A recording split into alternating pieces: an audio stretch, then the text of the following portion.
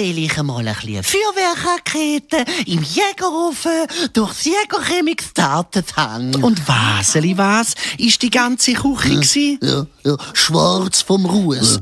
Ja, safe. Dann könnten wir zum Oberjägermeister Brünzli gehen und wenn er wieder mal rumschimpft und uns verscheuchen will, dann könnten wir sagen, stopp, musst aufpassen, wir haben Recht. Wer dich nur, wenn's ungerecht ist, jetzt weisst, dass nicht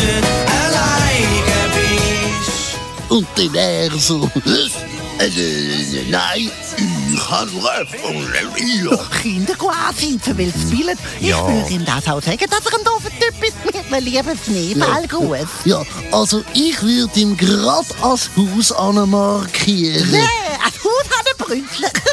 Ja, da mache ich also nicht lang. Frech sein bringt voll nichts, weil dann wird's nicht besser. Der Nachbar wird dann nur noch böser. Lass, Leo, ich suche dir jetzt einmal alle Kinderrechte zusammen und das sind im Fall viel.